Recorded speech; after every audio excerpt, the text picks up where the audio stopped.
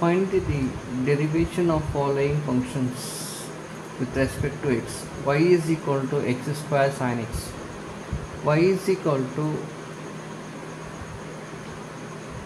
sin x by x. y is equals to sine of x square. So y is equal to x square sin x. Differentiation of this dy by dx is equals to x square sin x differentiation cos x x square differentiation 2x and uh, sin x different sin, sin x is as it is. This is u into v method. So dy by dx is equals to here 2x sin x first we are writing x x square cos x second we are writing. Next. Now in this case dy by dx is equals to x into 2 sin x plus x cos x. Here x is taken common from both terms.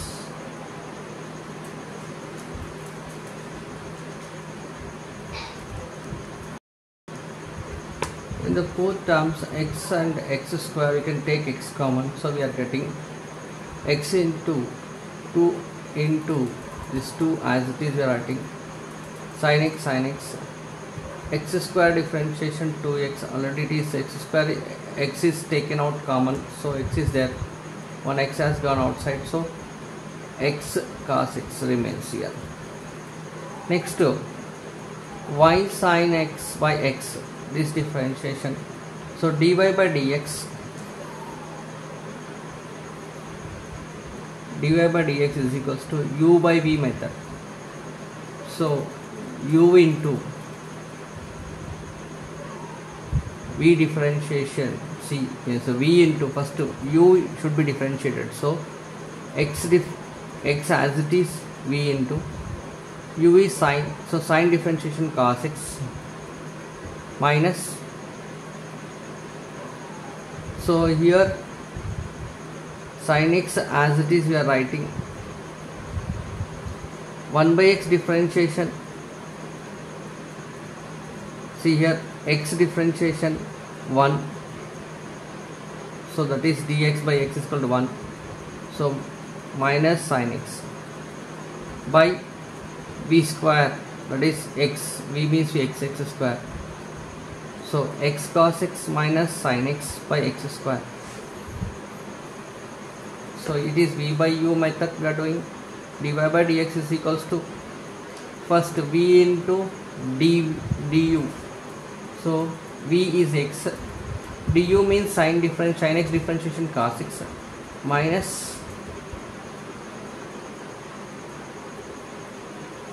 sin x is as it is u into dv dv means u means sin x as it is. Dv means x differentiation dx by x1 whole by v square. This is the formula then here x cos x minus sin x. So x cos x minus sin x by x square by x square that's all.